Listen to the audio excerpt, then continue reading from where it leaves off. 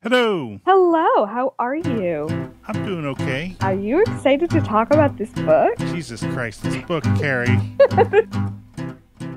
so, this is an exciting episode. This is. We are going to talk about a really, uh, well, uh, maybe I shouldn't give away what we think about it, but we think this book is horrible. I was going to say special in quotation marks, terrible is pretty accurate. yes.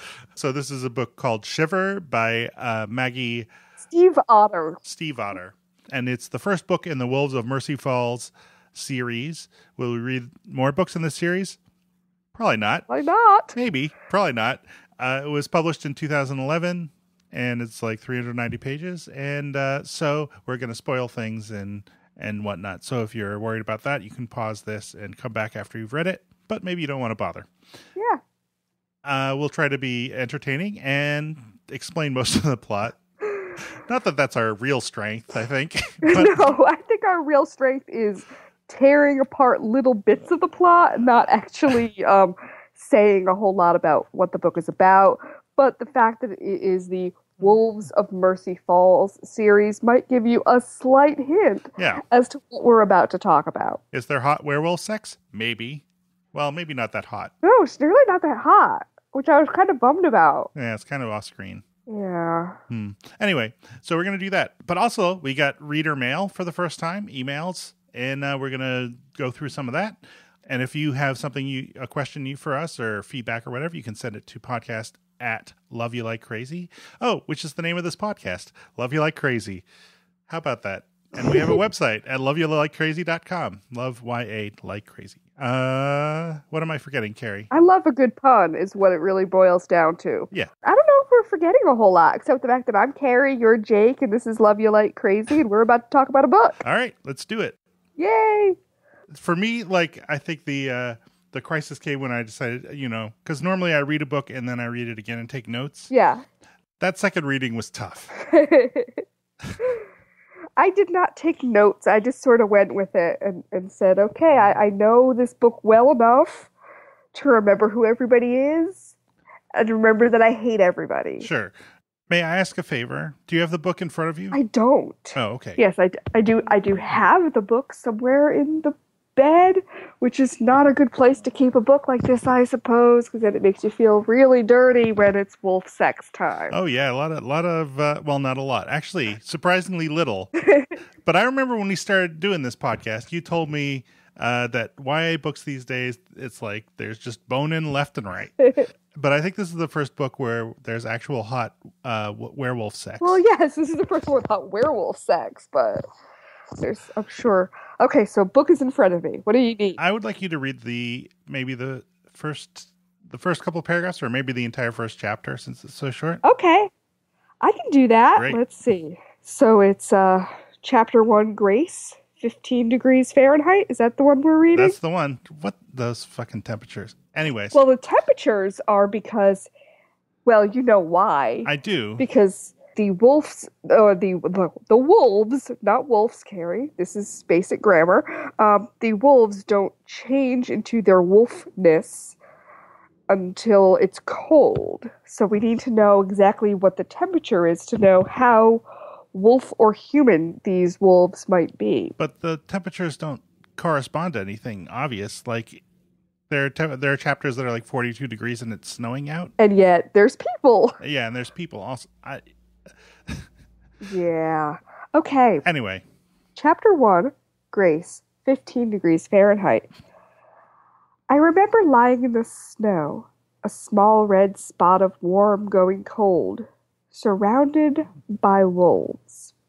They were licking me, biting me, worrying at my body, pressing in. Their huddled bodies blocked what little heat the sun offered. Ice glistened on their ruffs, and their breath made opaque shapes that hung in the air around us. The musky smell of their coats made me think of wet dog and burning leaves. I'm sorry. no, that's good. I, I think you made it farther than I could have. Pleasant and terrifying. Their tongues melted my skin. Their careless teeth ripped at my sleeves and snagged through my hair, pushed at my collarbone, the pulse at my neck. So, do you think that I feel like you want to be if it's cold out, you prefer to be surrounded by I'm just talking about the temperature aspect. Obviously, don't you don't want to get eaten to death by werewolves. But like snuggling up to a couple of warm furry dogs, not so horrible. Yes, exactly. All right, and then uh, wet dog and burning leaves, pleasant and terrifying. Uh, uh, well, anyway. Uh, oh, I'll read the next bit. Okay. I could have screamed, but I didn't. I could have fought, but I didn't. I just lay there and let it happen, watching the winter white sky go gray above me. oh, sorry, this is just amazing. and this is, I mean, we're, we're, this is as sexual as sexual can be. And, and she's 11. Well, right. Well, I was going to ask, like, how old did, when you read this, first of all, when I read this the first time, I thought it was a dream until I read the second chapter. Yeah. Uh, perhaps influenced by Awoken, um, which there's a lot of similarities. um, but, uh, and then, yeah, I don't know. 11, like, 11 seems too old and too young for this. Yeah. Um, because it's, well, whatever. Uh, one wolf prodded his nose into my hand and against my cheek, casting a shadow across my face. His yellow eyes looked into mine while the other wolves jerked me this way and that. Like, she's dead at this point, isn't she? Like, how is she still alive? She's pretty freaking dead, but obviously not. No. Can you read the next bit? I, I certainly can. I held on to those eyes for as long as I could. Yellow. And up close, flecked brilliantly with every shade of gold and hazel. I didn't want him to look away, and he didn't. No, good. I wanted to reach out and grab a hold of his ruff, but my hand stayed curled on my chest, my arms frozen to my body. I couldn't remember what it felt like to be warm. yeah. How many shades of gold do you think there are? One. Yeah. Gold. Pretty literal here. Yeah. I mean, occasionally there's what? There's gold, there's like shiny gold, dull gold, golden rod.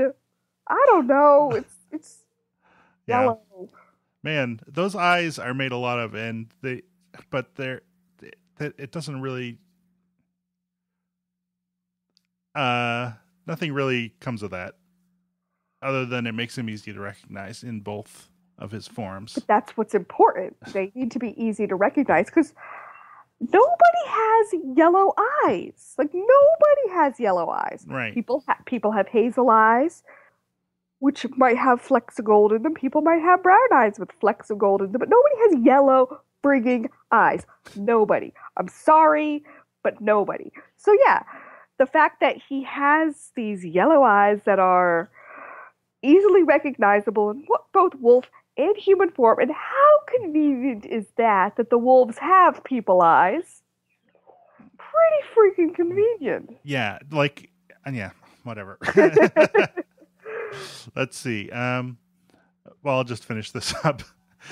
then he was gone, and without him, the other wolves closed in, too close, suffocating. Something seemed to flutter in my chest. That'd be your heart, girl. Yeah, that's. Uh, I think you're right about that. There was no sun. There was no light. I was dying. I couldn't remember what the sky looked like. But I didn't die. I was lost to a sea of cold, and then I was reborn into a world of warmth. I remember this his yellow eyes. I thought I'd never see them again. dun dun dun. Oh, foreshadowing. And that's when the book ends. She never sees. No, It's like oh, that's, that's a really short book. Yeah. So, with that out of the way, so basically, you know, uh, speaking to the listener, Carrie, you know, as uh, I think we said in the introduction, which we haven't recorded yet,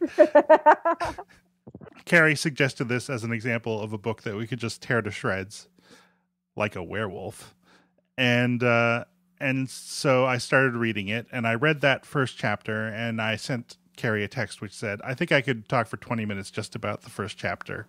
Which is two pages long. So, what's happening in this first chapter is that the main female character, Grace, was sitting on a tire swing in her backyard um, in the middle of winter in, is it Minnesota? Or where or Wisconsin, one of those like coldy, northy places, and uh, some wolves pull her off the the uh, the tire swing and eat her. Right. And then Sam, the werewolf, The one with the yellow eyes. starts to go away, then turns into a person.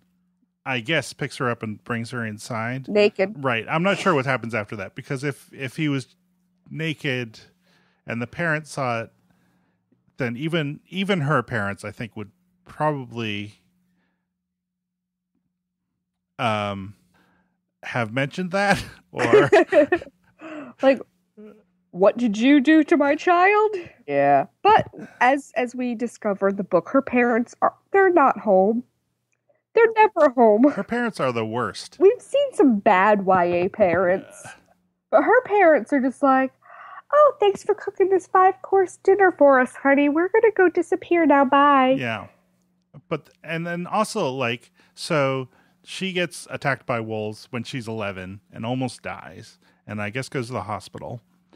They still let her like sit out and read in the cold you know until the time of the book when she's 17 like she spends a lot of time outdoors reading and look and keeping an eye out for the wolves who she's now like fixated fixated on and loves even though they almost killed her.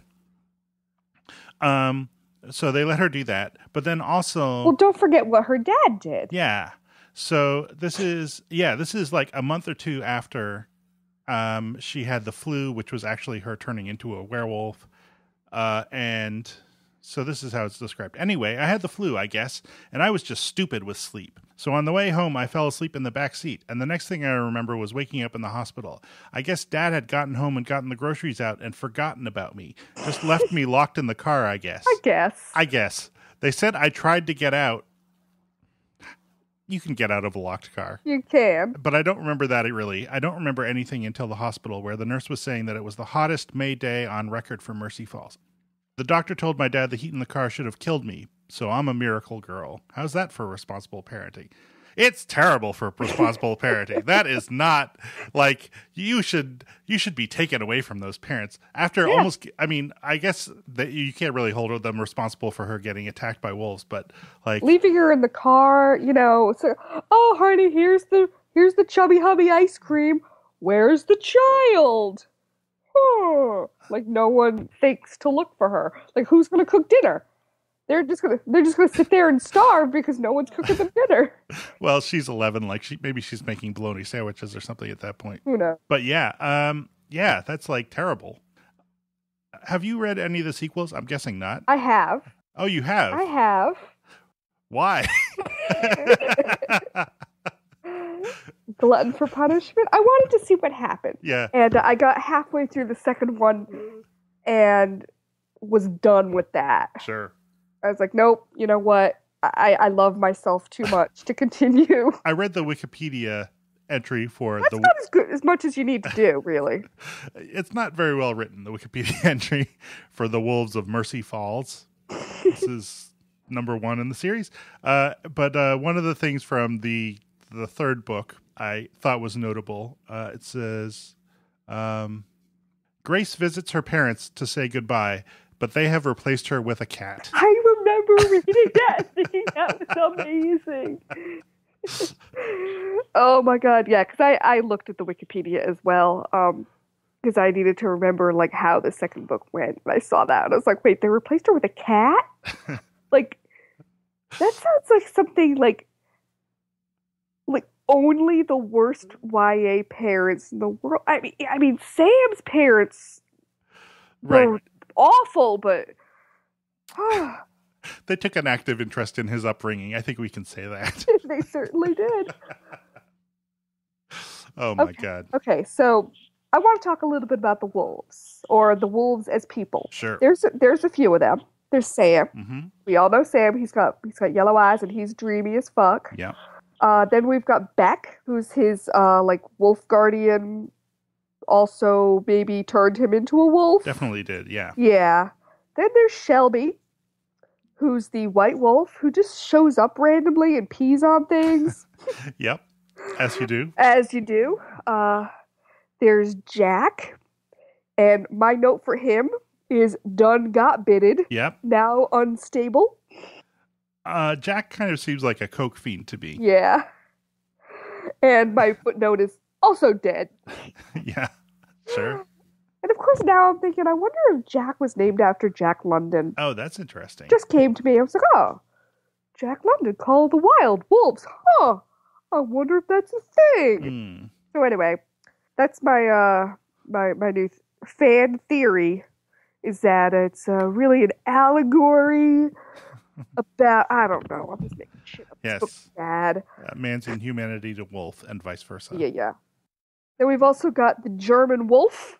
That's Ulrich hmm and Paul, who's the black wolf, comma crazy pants. Right. So they all live together in this big house in uh, Beck's house, uh, where they they hang out in the summer, and they all turn into wolves and hang out in the winter. Right. And Beck is a lawyer, and wasn't. No one thinks he's dead, so he's able to just do his practice in the summer, and ha- makes enough money that he can kind of maintain this house and buy books for Sam to read and and whatnot. Yeah, I, I actually have some other wolf names here. I don't know if they're actually around or some of them I think are dead.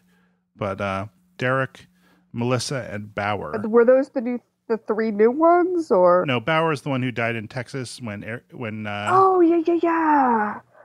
I, I remember that because they uh they said he he changed due to um, air conditioning yes, and got shot on spot. yeah. So these names, I don't know. Naming a character Beck, I don't know. That's tricky to me. Maybe that's his last name. Hmm. Maybe he just goes by Beck. Like maybe his name is Jonathan Beckham. Yeah, Who knows? maybe he's not actually a lawyer. He's a musician. I hope so. he's a Scientologist, and That would explain so much. Scientology isn't a cult. They're just all werewolves. yeah. So we're supposed to think Beck is basically a good guy. Do you think? We're supposed to think he's a ah shit. I don't know because I like him because I because because Sam likes him and and because Grace likes him. Right. But he's also kind of a dick. I mean, he's you know instead of kind of letting the werewolf thing die out, he's just like let's recruit more. Let's let's go eat this small child and raise him because his parents were sucky.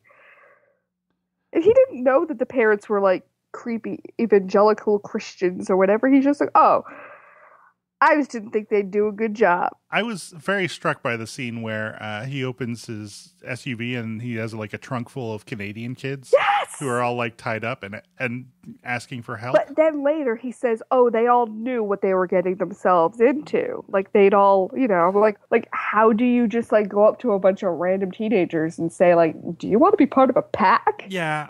Um. I don't know. So saying that, you know, they knew or or they volunteered for it was sort of a little bit like concerning, like I don't quite believe that because they're all bloody and asking for help. Yeah, and it seems. I mean, I feel like Sam should have told Grace about that.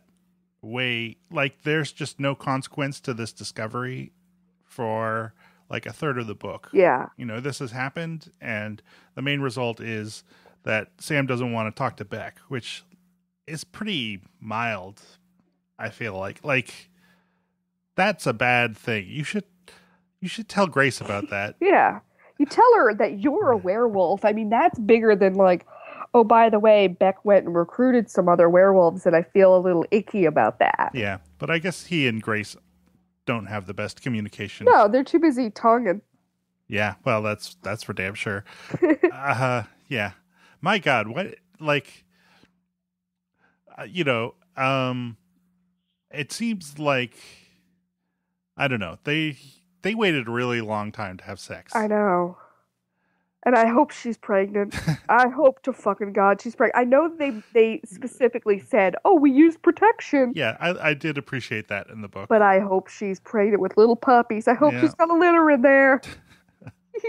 a dozen little puppies that would be amazing. Um, how long did wolves gestate I don't know. Let me Google this. yeah there we go what does Google have to say about this? Wolfgestation.com. Perfect. Not very long. 62 to 75 days. Oh wow. Okay. Yeah, you could do that. Yeah. Couple of months. No big. Yeah. Of course. Yeah. She. Mm, yeah. Well, very good.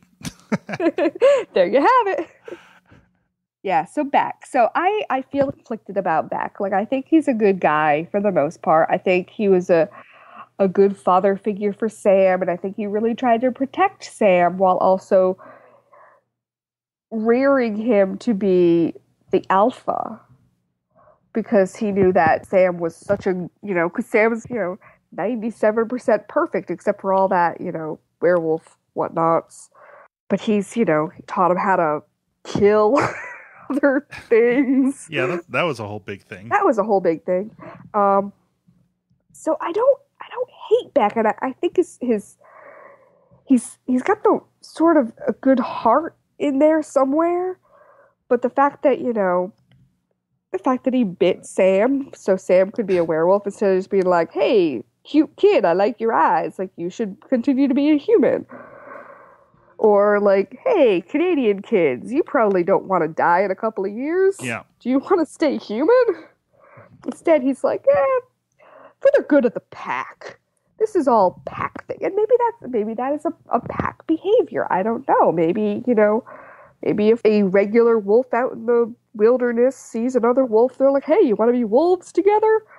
I I don't know. I mean, maybe he doesn't want there to be a lone wolf, but it's still kind of fucked up and weird. Yeah, I mean, I think, I mean, it seems like the book wants us to like him, and you, like, you do because you like Sam, basically, Yeah. and then Beck is essentially Sam, but older and a little weirder. um, but in terms of what he actually does in the book, it's a lot of it is kind of horrifying. It is. So one of the things he does uh, that we just alluded to was Sam asked because they were living in a place that had these awful dogs on the property, and Sam was like, "Oh, I feel a little squ- squicked out by these dogs. You know what happens if they get out? How do we how do we kill them?" And uh, Beck got him some chickens and said, "Okay, now go here and you cut here and do this." And Sam was like, "Okay, cool." And then he got him some bloody meat and said, "Okay, this is what you do." And then he got him some other stuff, and finally he taught him how to kill by, you know, showing him a lot of dog fights, which was horrifying to read. I mean, because I just kept thinking, like, did the author watch a lot of dog fights to like be able to get this accurate, or is she making this up because this is fucking gross? Hmm. Until finally, Sam, of course, had to had to kill another dog, um, who was not a wolf, I don't believe. No. And then found out that uh, the crazy Southern Belle wolf Shelby had let them out. Yeah. Shelby is the one that likes to pee on things to assert her dominance because she wants to be the alpha girl along with Sam being the alpha man. Uh, she wants to be the, the, the top lady dog um, in the pack, and she doesn't actually want to be a person. She's like, eh, fuck this being a person bullshit. Like, I want to be a doggy forever. Yeah. So she's kind of horrifying, and she hates Grace, of course. To be fair, Grace is kind of hateable. she's kind of hateable. I mean, there's the thing about Grace is, you know, like so many other female characters in these YA romantical um, supernatural novels, like there's nothing to them. She's such a blank slate. She's Andromeda slate all over again. Yeah, and kind of a jerk to her friends. Um, well, uh, maybe we should talk about her friends a little. Yeah. So there's Rachel, uh, who's really caffeinated and excitable, and wants everyone to go away on Christmas vacation someplace. Yeah. I thought I I felt like she was pretty well written. Like I, f- I felt that was a recognizable person there. Yeah. And then there's Olivia, who is obsessed with wolves also, but um, but she and Grace, I think it seems like they're both kind of introverts in some sense, Yeah. and they don't really get along when Rachel isn't there to kind of connect them. Exactly. Although part of that also is like a plot contrivance because the plot requires them not to talk to each other for large parts of the book, or else Grace will know what Jack is up to, and Sam will also, you know. So that needs to they need to be kept separate. And Yeah, uh, if they know that that Olivia knows because she took the because she's a photographer and she took pictures of it. Right. She took pictures of Jack as a wolf and as a human after he was supposed to have died. Um, and uh, Jack talks to her and finds out that um, that Grace got bitten but never turned into a wolf, and thinks that she knows the secret of how to be cured. Which in this book, it seems like, I mean, like uh, being bitten by a wolf, but then almost getting killed by your neglectful parents by being left in a car is like a pretty sweet deal because she has like super senses, like she can smell and uh, I think here really well if she lets herself, and she heals quickly. Like it seems pretty sweet. And she could also sort of do the the mind meld with the wolves because when Sam took her out into the woods and was like, "Oh, look at this lovely golden area," she's like, "Oh my god, it's so beautiful!" Yeah, Because he'd sent her the pictures in his mind. so romantic. Yeah, I know. Because he's testing to see if she's wolfy or not. Yeah, that is one thing about uh, Sam that I didn't care for, is that he kept kind of um, putting Grace through these weird tests without telling her, and I was like, "Why are you doing that?" Like, just say something. Like, say, "Hey, you were bitten by my friends. Um, do you have any like after effects? Maybe. Yeah. Here are some signs that you might be a wolf. Um, okay, so there's Rachel and Olivia, and then there's Isabel, who's Jack's younger sister. yeah. So Isabel, like, I feel like the book wants us to dislike Isabel, at least for most of the book. But I like her. yeah, I thought she was. I thought I was like, if this book were about Isabel, I think it would be like the main character would actually do stuff and like try to solve problems. it would be great. She's asking questions and like she suspects something, so she's like, "I'm not going to beat around the bush. I'm not going to put you through a weird like test. I'm just going to go up to you in class and say." I know you know something. Why don't you friggin' tell me? Yeah, and Grace is like, "Well, why are you talk? Why are you asking me this? What are you even talking about?" And it's I just you know like have some sympathy. Like this this woman's older brother who's like a jerk, and clearly they don't really like each other. But he he just died, you know. Um, and then uh, and then at the very end, like she is she is so nice to Grace. Like Yeah. that was that was a part there. So um, I guess uh, Maggie Stiefvater, I actually looked it up. I had and and, and she, it's it's Steve Otter. Steve Otter. Okay, Yeah. I had to look it up because I wanted to be able to say it properly. Because I think for the last I don't know five years I've been saying Stiefvater, uh, but it's she says it's Steve as in the name Steve and Mhm. Otter as in the animal. So it's Steve Otter. There you go. all right, Still trivia for you, ladies and gentlemen. Steve Otter. all right. Um, oh, so she basically wanted to write a tearjerker. Like she was inspired by reading The Time Traveler's Wife, uh, which she read twice, and she cried twice, and so then she wrote this book, which was basically intended to make people cry. Which is why the dedication is for Kate because she cried. Which is uh oh, that's fucking weird. yeah, that's a weird uh creepy kind of dedication.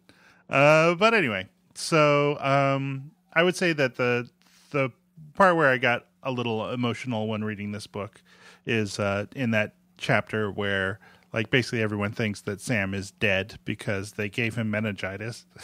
That was a whole crazy plot.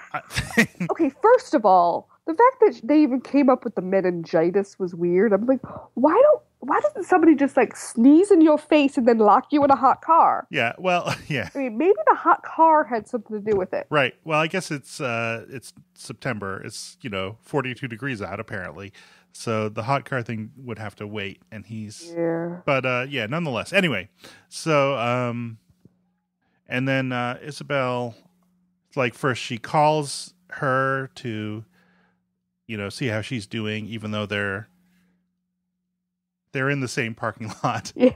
but she calls her, and um, and Grace is like, it turns out it's actually easier to talk about this when it's not in person. And then she's like, let's go to the mall, and they go to the mall, and like they go shopping, whatever. It's like cute. It's like I'm like, you know, this is someone who is grieving her own brother, you know, who just died again, but this time for real.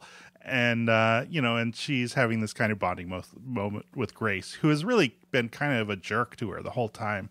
So uh, I, I I was touched by that. I admit it. My favorite scene was honestly when Grace made Isabel help her make a quiche. Yeah, that was great. Because that was just so weird. That Like, was very random.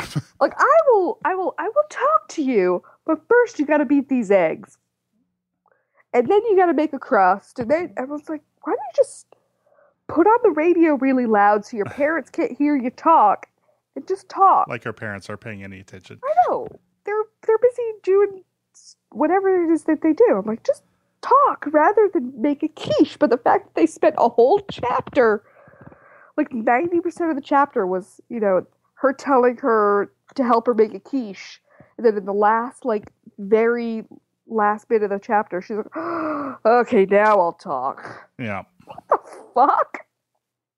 Why? Why would you do that? Yeah. Yeah. I But- I have nothing to say about that other than absolutely correct. yeah, I, I just thought it was really, really, really, really weird and random. And if I had to find out about my supposedly dead brother and what, what somebody knew about it, I would be like, yeah, I'll get the cheese. Not a problem. How do, how do I cut these mushrooms first? Because that's more important, right? Mu- mushrooms? Yeah? Okay. Yeah. Anyway, um, I just thought that that whole chapter was so weird and made me a little uncomfortable and made me really dislike Grace because I, I was like, are you stalling or are you hungry? Like, what is going on here? Yeah, no, I agree. I mean, I I feel like sort of the idea was to give Sam a chance to get a little more familiar with Olivia and decide whether or not to fill her in what's going on because that's what the result is. Sam like is like, okay, this person seems like someone that we can talk to. I think that's more or less how that ends, but it isn't really set up that way, and and just the whole thing is really weird. Yeah, super, super strange. Can I talk about songwriting? I would love if you did. Okay. So um I am myself a singer songwriter. And it turns out so is Sam. Sam is the uh, the werewolf who likes to write songs and poetry.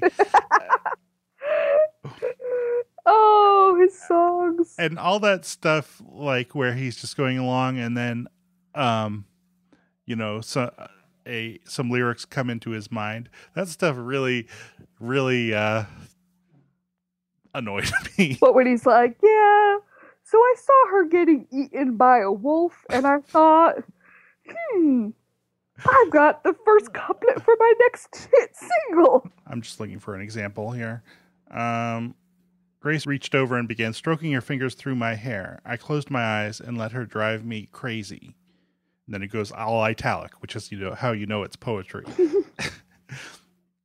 she draws patterns on my face. These lines make shapes that can't replace the version of me that I hold inside when lying with you, lying with you, lying with you. I like your hair, she said. Yeah, there's a lot of that kind of flowery poetic talk, and I guess uh, Maggie uh, Stiefvater is herself a songwriter. I don't know. It's kind of weird, and that lyric also seems to be a common characteristic of uh, his his songs, which is that uh, parts of them kind of rhyme and then other parts don't, and there are also a lot of words that just get repeated a lot. Uh, which is fine. It's hard to judge a song just by the lyrics because most lyrics just seem really stupid. But uh, if you read them, even of great songs, but uh, I don't know. Maybe, maybe like I fell for her in summer, my lovely summer girl. Yeah, well, yes, uh, summer. Yeah, that is a lyric that ha- repeats the word "summer girl" a lot. It rhymes summer girl with summer girl. It's a perfect rhyme. It is. Yep. All the letters are right there, all the syllables. So at one point, he takes her to a uh, candy shop in the town he grew up in and tells her that the truffles there are so good that he wrote a song about them. Yes. Um, but he does not give the lyrics, which is very disappointing to me. I would like to see what that song was. So I wrote to you, Carrie, Yes, you did. and I said, Why don't you write some lyrics about truffles? And then I'll set them to music and record them. oh my goodness, and I wrote really bad lyrics because he is not a good writer, yeah. and it's really hard to write a song by a teenage werewolf about truffles Sure. and have it not be as ridiculous as possible. So I wrote a really bad song. Right. And you have not heard what I came up with that. But I have not heard it and I can't wait. all right. Shall I play this now? I would love for you to. All right. I'm uh, let me see if I can figure out how to get this microphone to work here. All right. Can you hear the guitar? I certainly can. A heart made of cocoa, all rolled up in dirt. A decadent treat, a tiny dessert. I can't get enough of you, and one more can't hurt. You're such a sweetheart, a tiny dessert. Oh, truffle, truffle, truffle, truffle, truffle, not much rhymes with you. Except duffle and kerfuffle, and ruffle, and reshuffle too, and reshuffle too. This is very good.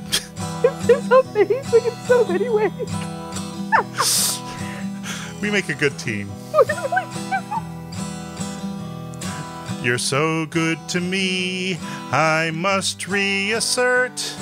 I love your soft insides, you tiny dessert. Get a little erotic there. I did. I can't get enough of you, and one more can't hurt.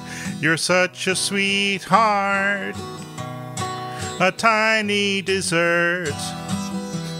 Oh, truffle, truffle, truffle, truffle, truffle, not much rhymes with you.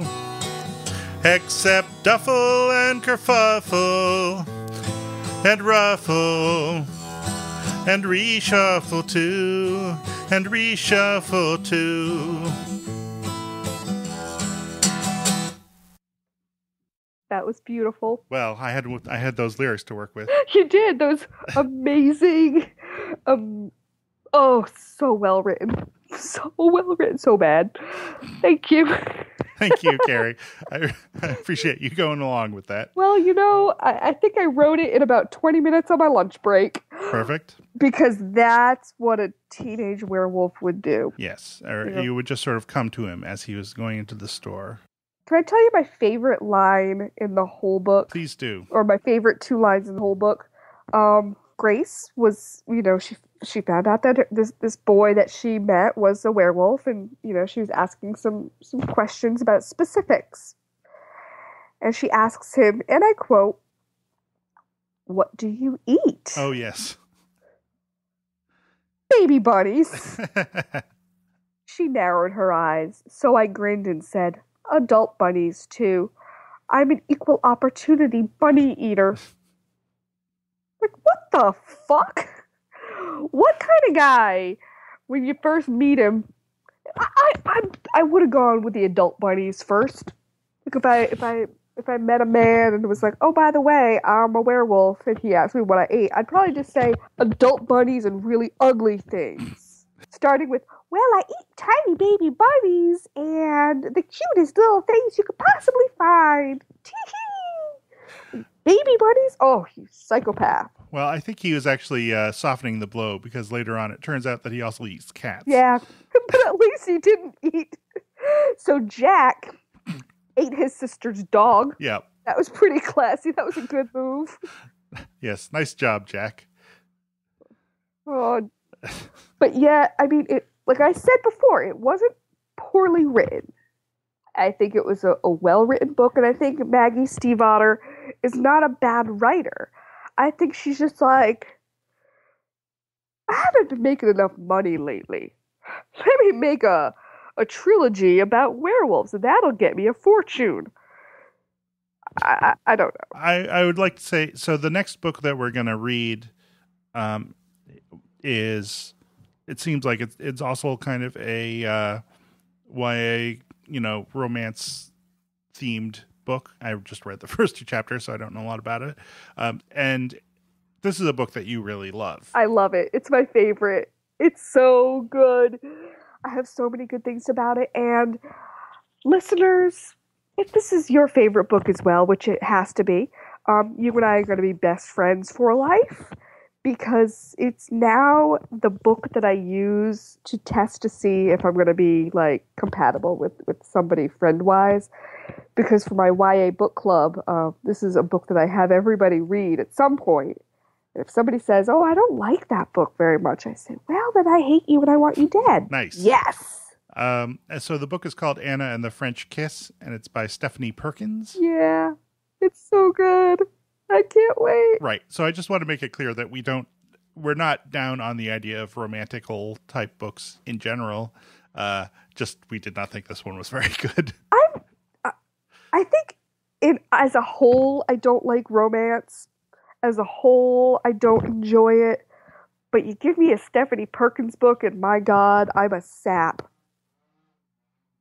So I am really excited about this book. Yeah, and I'm I'm looking forward to reading. I you know, as I said, I read the first two chapters. The first chapter, I was like, this is I don't like this person at all. And then the second chapter, I was like, oh okay, I get it. Yeah. And I know that you'll like it because you're my friend, and you have to. It's a law. Yeah, otherwise you'll you'll uh, hunt me down and kill me, and that that would be Pretty much. that would be an unfortunate final episode of the podcast. Yeah. It's like, oh, sorry, y'all. I ate him. Yeah. Is there anything else that we should say about Shiver before we move on? Every parent in this book is he- terrible. Everybody should get new parents. Mm. Don't be a shitty parent. That's that's my takeaway from this book. Uh, That's the moral. the moral of the story is occasionally watch your kid Yeah. and know what they're up to, because if not, they'll be a werewolf. Otherwise, just get a cat to begin with. Don't, don't bother with the kid. Yes, if you're going to replace your kid with a cat anyway, just just start with a cat. Yeah. Very good. I- I'm down with that 100%. Um, so, uh, as maybe was mentioned earlier, we got a bunch, we got some feedback from people. We got uh, our first iTunes review, very exciting, from Grace Elm. Was kind enough to give us a five star review and say some nice things about us. So that was great. And then we also got some listener email, which I thought I would uh, read now and we could talk about it. oh yay! All right. So our first email is from Craig Redacted. And Craig says, I'm not well versed in YA, which joined the club, Craig. I uh I'm I wasn't really before I started this podcast myself. Um, but I can ask a more general question that I genuinely like you like to hear your thoughts on.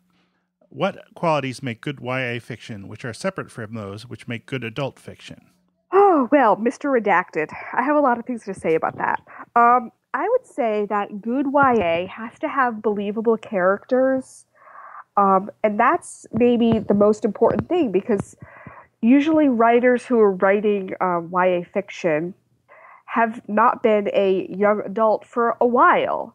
And so being able to um, accurately convey the, the teenage voice is really important. And if you don't, um, you're going to end up with, um, you know, just something that's not very good because if you don't believe a teenager's emotions, if you don't believe um, their journey, you're not going to enjoy the book. That's my first thing. What do you think, Jacob? Yeah, uh, that all makes sense to me. Like, I feel like um, the books that we've read and that we might talk about, you know, a lot of them are really character based, and a lot of that determined whether or not we liked them depend on what we thought about those characters. Uh, you know, young adult novel. Uh, part of your problem with that is that you hated all the characters. yeah. uh, Nancy Drew, uh, you know, we didn't like all the minuetting and whatnot. Um, and then Unwind, the characters were really great in that. Uh, and I think that's I don't know. It seems like they're mostly in the first person, but I don't think that's necessarily required. But that definitely also makes the whole characterization thing a lot more important. Um, yeah, and I mean, I don't think. Right. I, I think that yeah, I, I think that's accurate. And you know, obviously, you want good characters in adult fiction too, but it makes sense to me that it's even more important in books like these. Um, yeah, because I mean, if you're writing an adult novel, you are an adult. You understand adult themes because that's the world you live in. You might not understand everything. You might be, you know, a female writing um, a male character or vice versa, where, you know, I don't know the male voice or a male doesn't know the, a, a woman's, you know, voice as well.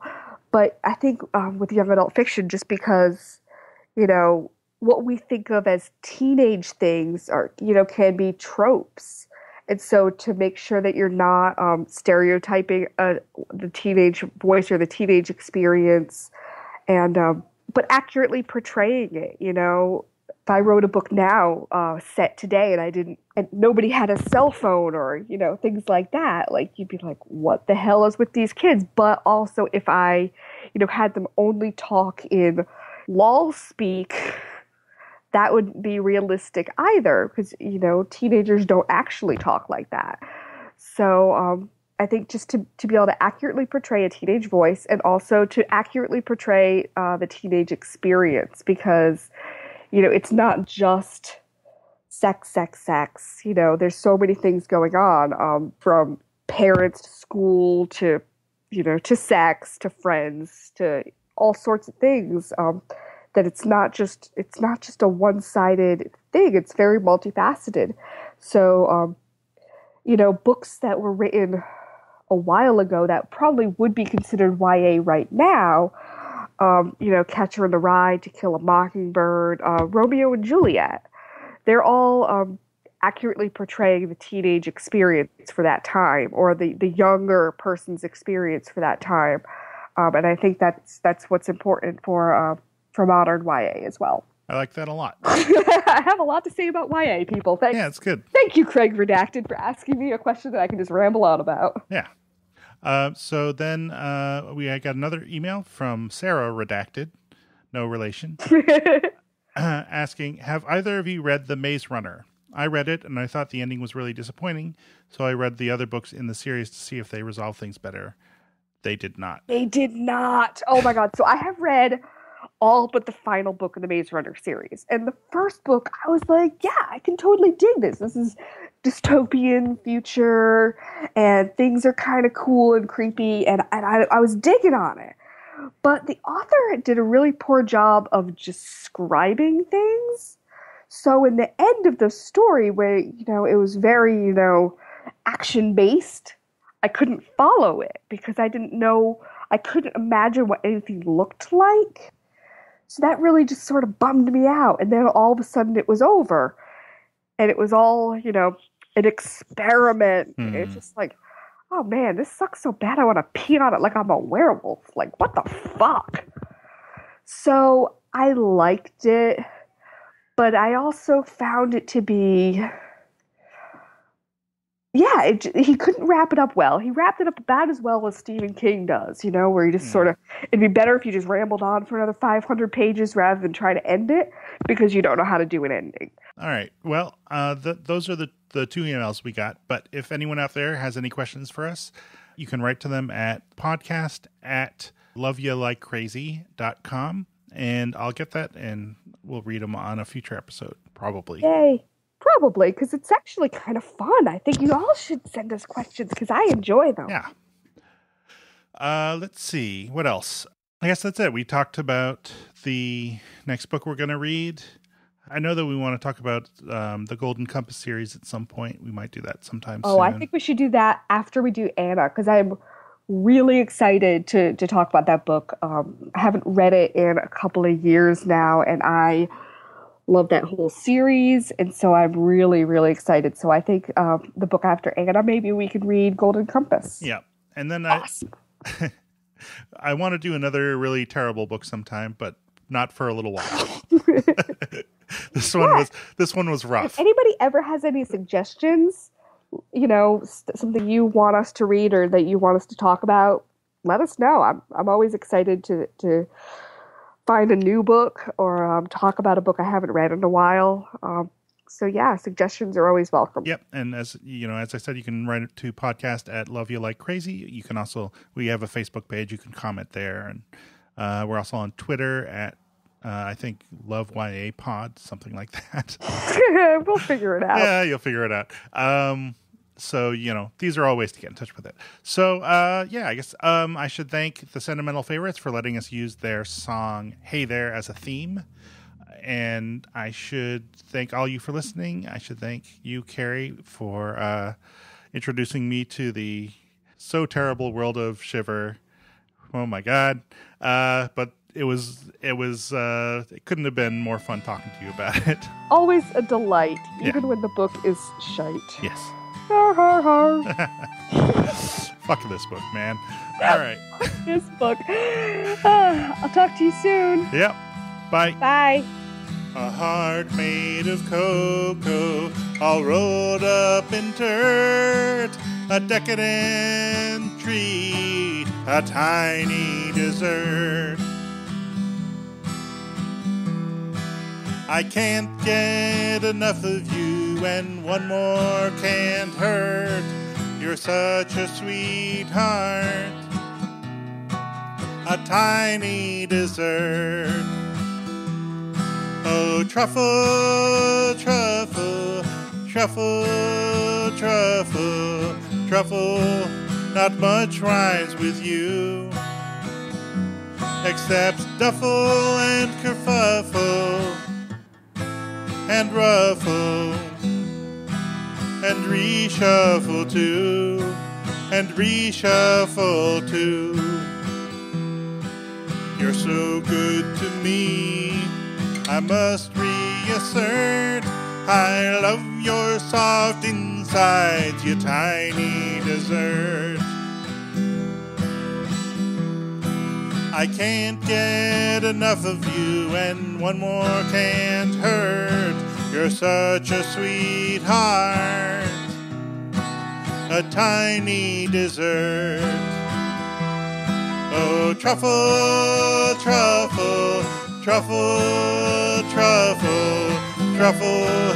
Not much rhymes with you, except duffle and kerfuffle, and ruffle, and reshuffle too, and reshuffle too.